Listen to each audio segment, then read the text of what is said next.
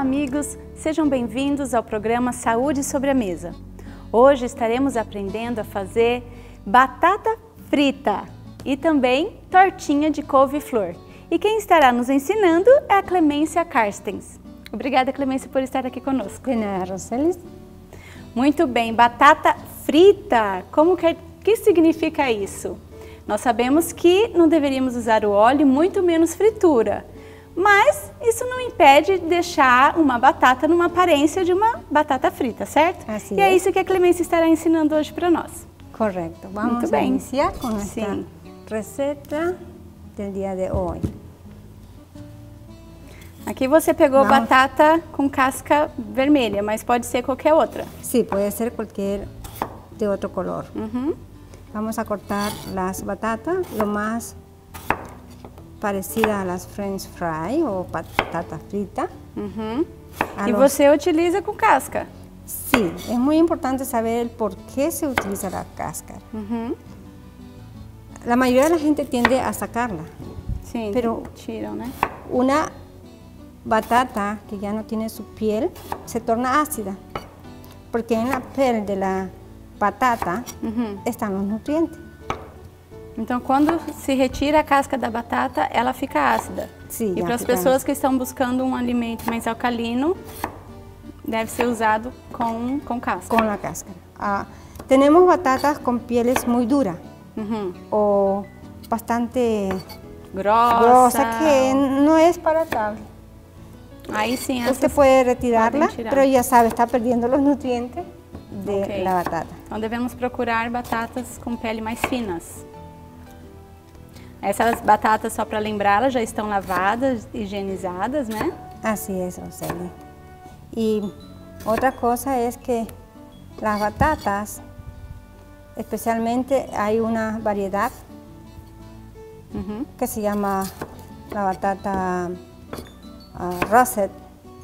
Ella ya está genéticamente modificada, o sea, debemos de no usarla, que es la más grande, que se las use batatas para mayores. Sí, para asar. Essas já estão modificadas. Ya están modificadas. E, e Clemência, para uma pessoa que está numa dieta é, corretiva e precisa perder peso, ficar usando muita batata, como é que é? Pode, não pode? La batata tiene pocas calorías. Por lo tanto, es recomendable para las personas bajar peso porque es de poca caloría. Ah, sim. Então, para quem quer perder peso, pode usar batata usar com batata tranquilidade. con tranquilidad. Ok, você não pode levar fritura, colocar gordura, que é o que faz com que a pessoa es, ganhe peso. así es, Roseli. Entonces, si tú haces tu batata todos los días para bajar peso, Uhum. vas a comprobar de que muy pronto realmente estarás en un buen estado de peso. Ok. Só lembrando a vocês que a Clemência já esteve conosco em outro momento, nos ensinou a fazer é, ah, purê de batata, muito gostoso. Então, se você gosta de purê de batata e quer aprender de uma maneira muito especial, pode entrar no site da TV Terceiro Anjo, www.terceiroanjo.com, vai nas receitas e lá você vai encontrar o purê de batata que a Clemência nos ensinou. Eh, tú puedes con la batata hacer un plato diferente cada día. Ok? Puede ser batata al horno, No forno. tata- torta de batata, tortilla de batata, Uhum. puré de batata, french fry batata. Batata frita? Puedes hacerla de muchas maneras. En el, en el día de hoy estamos Sí. enseñando cómo hacer esta batata, que tanto gustan a los niños. Sim, o caso da aparência dela, querendo ou não, a gente acaba sempre, né? Roseli, Quem não come uma batata, quem já não comeu uma batata Assim frita? E a aparência dela chama atenção, então, por que não oferecer algo parecido? Bien, vamos a comenzar con la sal. Ok? Una batata sin sal, Não? nadie la quiere certo. comer. Isso. Entonces hay que poner la, cantidad necesaria de acuerdo a la cantidad que vas a usar. Ok. Eh, aquí traje un poquito de onion, de Cebola, cebolla, cebola em en pó. polvo. Ok. Então, coloque-se numa forma, né? As batatas cruas. Ujú. Coloca-se sal, cebola em pó. Y aquí tengo una crema de ajo. Um creme de alho. Esto es muy interesante aprender para poder que tu batata quede muy sabrosa. Nossa, o alho ele tem, faz uma diferença tremenda no- na alimentação, né? Só que a Clemência não vai nos ensinar agora como fazer esse creme de alho. Então fique atento porque ela vai nos ensinar num outro momento e aí você pode também conseguir essa nova receita na, no site da TV Terceiro Anjo. Si quieres cambiar de color a la batata, puedes también poner Ok? Esse é o açafrão. un poquito de azafrán Ujú. o paprika, que sería el pimiento vermelho en Ok. rojo, color rojo. Entonces podemos unir todo esto con nuestras manos hasta que todo esté mixturado. Muito bem, olha como já vai pegando a cor, né? Daí tem que ter certeza que todas estão bem cobertas com os temperos. Ya está todo. Uhum. Elas não podem ficar muito em cima uma da outra ou não tem problema? No tem problema, Ok. no tem ningún problema. Bien, ya vemos cómo quedaron. Uhum. Y ahora sin poner agua, nada, solamente la vamos a cubrir Ok. y está listo para el horno. Está prontinho para ir pro forno? Sí, el forno. Ok. Me levar, então, Roseli, no forno, claro que mis sim. manos están... E, e qual é a temperatura que o forno deve estar? 350 Uhum. a... Podría estar en una 45 minutos a una hora las... Ok. De 45 Papas. minutos a uma hora hora. numa temperatura de 180 graus centígrados aí no Brasil. Uhum. Temperatura média. Ok. Então, enquanto a nossa batata está lá no forno, agora vamos para o segundo prato. Así es, né? Hoje você vai nos ensinar a fazer tortinhas de couve-flor. Muy bien. Comenzamos con Deixa eu ajudar aqui.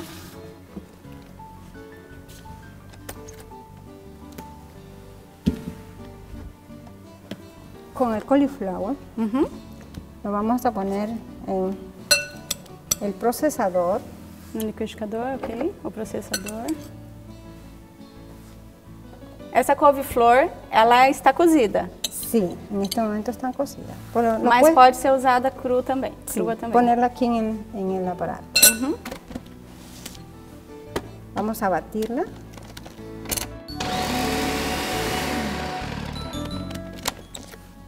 Para ponerlas todas. Sem água, bem escorrida. E fazer com que o processador faça o trabalho de dissolvê-las.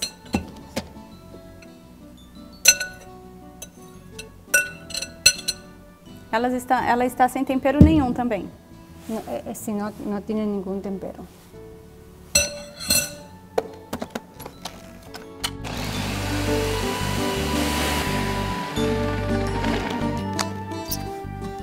Ya estamos casi, Celi.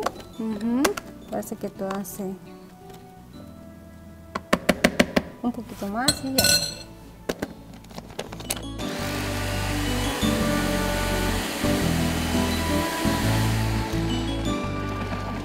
Desfazer bem as arvorezinhas. Sí, entonces aquí podemos nosotros, vamos a sacar un poquito de esta que está aquí, para que los otros puedan ser unidos.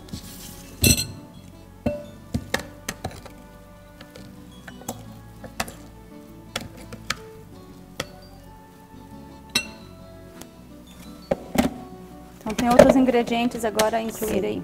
Aquí vamos a poner la linaza, Quanto de linhaça tem aí? a media taza para esta cantidad de, Meio copo de Meio- linhaça meio já copo. triturada. de sí, triturada. Uhum. Vamos a poner dos, dos dientes de ajo, Uhum. la sal,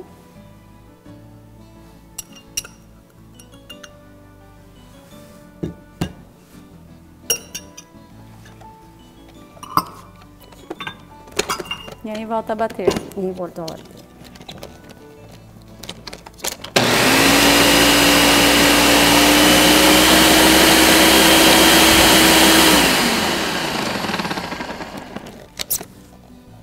Salasa, vamos unir todas juntas.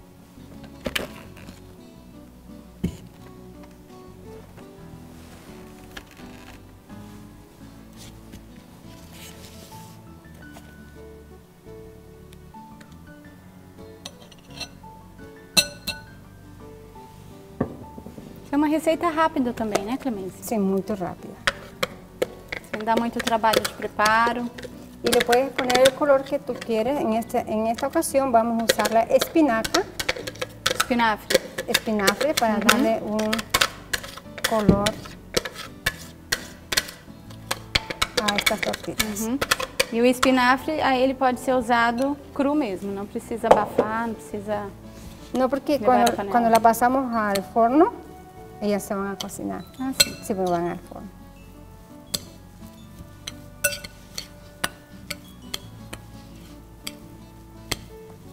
Y ahora vamos con el espinafre.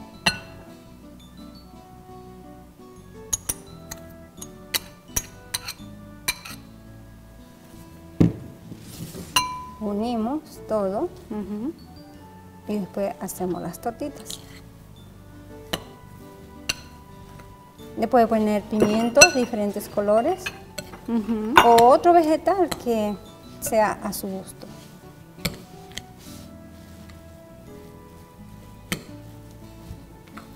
E aí é um momento também que pode chamar as crianças para dar uma ajudinha aí no momento de formar os bolinhos, Sí, as tortinhas. a- a- a ellos les gusta hacer este tipo de, de trabajo.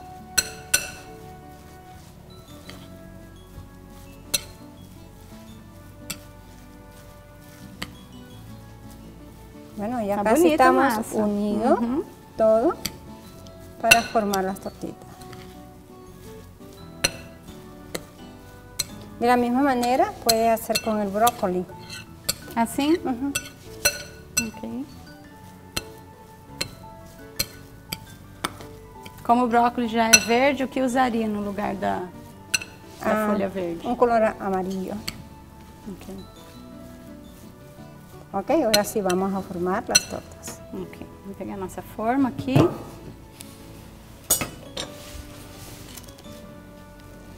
Tengo que usar mis manos aquí y formamos las tortitas. Y de esta manera, vea que todo se una y para, va para el horno. E um pode colo- colocar o tamanho que quer. Sí, la, si la quiere más pequeña o más grande, Se gosta mais torradinho, quem sabe deixar mais fininho. Quem gosta mais macio, deixar mais grossinho. así es. E não precisa colocar nenhum papel, manteiga, tipo assim, porque ela não gruda. En este caso no, porque como tenemos la linaza dentro, Uhum, que faz o papel do azeite. sí, entonces ya sueltan. E que alimento nutritivo, né? Porque aí tem a linhaça, a couve-flor e a, Espinafre. o, é, o espinafre, que é a folha verde. Vamos a hacer un poquito más acá para que entren tres, tres. Uhum.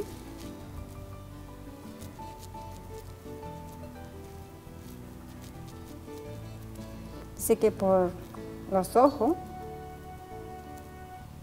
Sim, entra. já começa. Ya comienza. y si se esmera uno de hacer las cosas más decorativas con diferentes colores, Uhum. a, a la, a la gente va a gustar mucho. E se alguém quiser colocar algum tempero diferente também, aí sinta-se pode. livre, né? Sí, en vez de espinafre, você puede poner basil o, ¿cómo se dice eso? En Manjericão, manjericão, orégano, uhum. salsinha, cebola. cebola.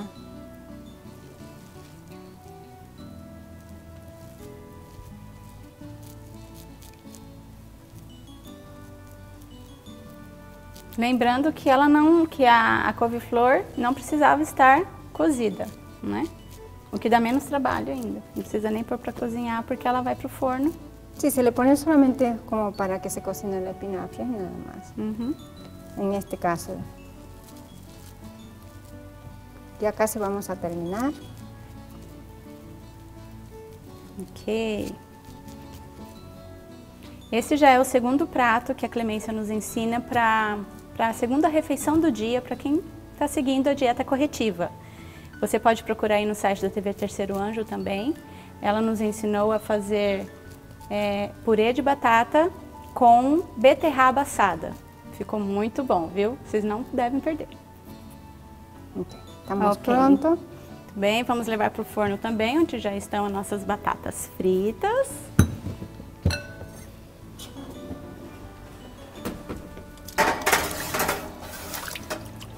Muito bem. E ela também demora quanto tempo, Clemência? Uns 10 minutos. 10 minutos, então ela demora menos que menos. a batata. Ok. Já que nós vamos deixar aqui as nossas batatas, ah, nossos pratos no forno e nós já temos pronto para mostrar para vocês. Então, vou deixar aqui. Vamos trazer a nossa batata. Aqui hum, que batata frita. Bem, aqui temos também as nossas tortinhas de couve-flor. E a Clemência trouxe também esses tomatinhos. Explica pra gente, Clemência, como é que você fez esses tomates. Este tomate solamente lo pongo con un poquito de sal y al horno. No los voy a tapar porque como ellos tienen bastante agua, tienen que, que evaporar. quiero que se me sequen. Es de la única manera simple que hago los tomates e quedam uma delícia. Ok, e aqui tem uma refeição pronta então para o período da tarde.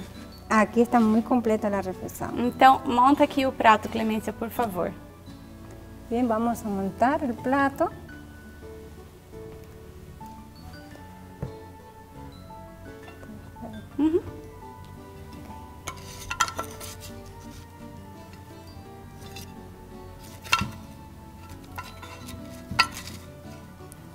Huelen ricas estas batatas. Sí.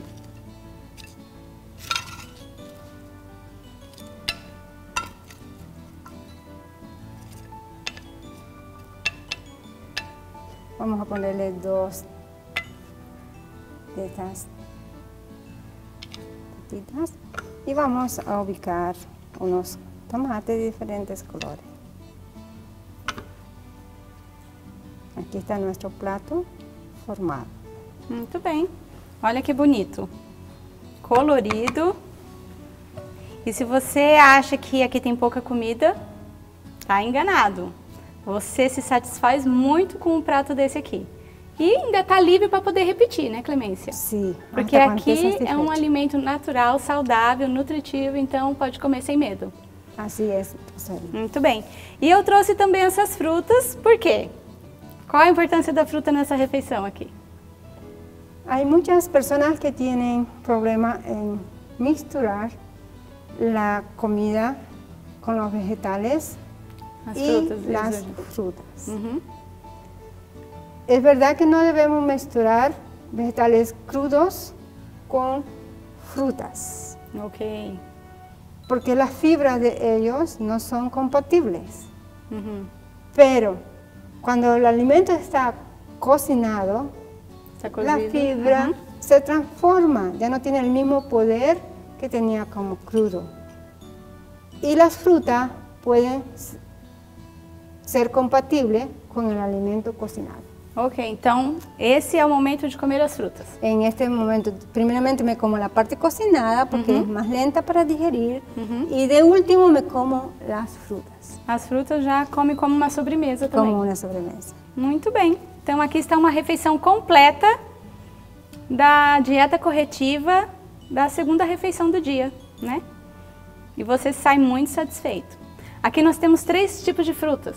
Pode ser dois, pode ser três, pode misturar mais? Não, pode ser uma. Pode ser uma só? Uma só, em quantidade grande. Ok. Pode ser dois. Uhum. E aí pessoas que têm muito bem seu aparato digestivo, pode ser três. Ok. Mas não se passa. Não misturar não, muito, muito, mais. Muito. Muito ok. Mais.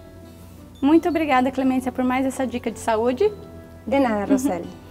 E para você, se não está entendendo muito bem o que está querendo dizer com a dieta corretiva, como comer fruta junto com vegetais cozidos, acesse o nosso site, procure lá palestrantes Peter Carstens, que lá você vai encontrar várias palestras falando sobre esse tipo de situação.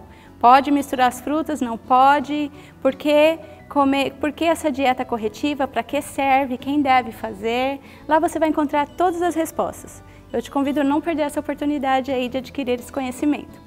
Então eu te agradeço, espero que você utilize todo esse conhecimento que adquiriu e que divida com seus familiares e seus amigos. Que Deus te abençoe e nós nos vemos numa próxima.